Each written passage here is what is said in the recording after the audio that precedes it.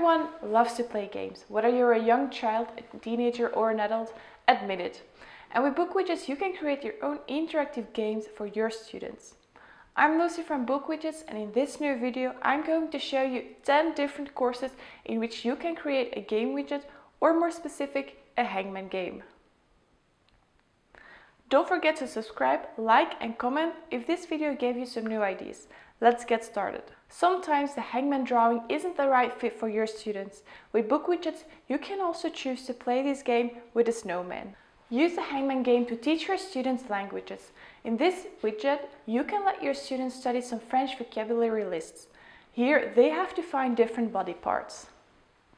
If you think you can't use this widget in your mathematics lesson, you're wrong. Give your students a sum they have to solve. To prevent guessing the answers, let them solve it first in another widget such as a digital whiteboard. Let your students play the Hangman widget when you want to teach them more about important historical people. In this widget, students have to guess the most important people from the Middle Ages.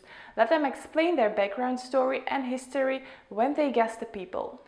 When your students have difficulties learning the names of certain parts of something, for example, in a biology class, use the Hangman widget. In this widget, students see the drawing of a muscle and they have to name all the parts of the muscle. To teach your students more about economic goods and services, you can also use the Hangman widget. Let them find out all the different goods and services there are, and once they've found one, let them look for an example on the internet. Teach your students more about European countries and capitals by combining the Hangman widget and the hotspot image widget.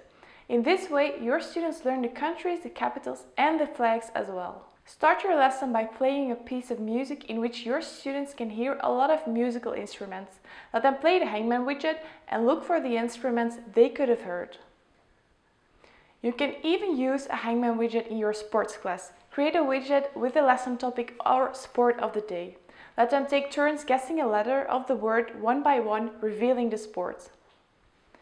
In your chemistry lessons, you can teach your students all the elements from the periodic table.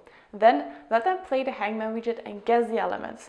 Once they have guessed the element, they have to write down the abbreviation of the element.